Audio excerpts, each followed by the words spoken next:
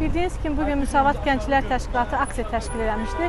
Daha doğrusu piket təşkil eləmişdi. E, İçəri şəhər metrosundan İrən e, səfirliyinin önünə piket idi bu. Sadəcə burada e, piketin tələbi o idi ki, e, bu son zamanlar e, İranda olan e, siyasi fəallara qarşı olan qanunsuz həbslər, eləcə də həmçinin əsas Abbas Lisaninin həbsinə, qanunsuz həbsinə olan etiraz idi. Eyni zamanda Ermənistanla e, İranın birgə silah istehsalına qarşı e, bu bir aksiya idi.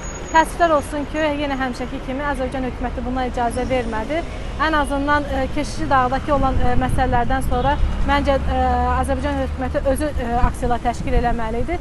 Təəssüflər olsun ki, müxalifətin, müsavatın təşkil elədiyi bu aksiyada onlar mane oldular və özünüz də gördüyünüz kimi video kadrlardan kobud şəkildə onları həbs elədilər polis bölməsinə apardılar və düz çox uzun müddət saxlamadılar. Sonra biz e, Nəsim e, 9 saylı polis bölməsinə gəldik. Bildirdilər ki, Səbail polis idarəsindədir. Bura gəldik, burada da yox idi. Sonra özümüz gördük ki, maşından apardılar. Biz orada olduğumuza görə, idarənin önündə olduğumuza görə ora düşürmədilər.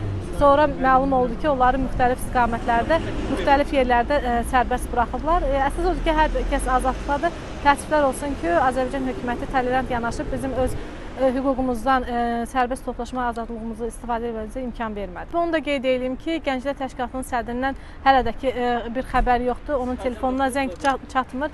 E, təxminlərimiz budur ki, böyük ehtimalla həbs olunub. Yəqin ki, önümüzdəki saatlarda bir məlumat ala biləcəyik ondan.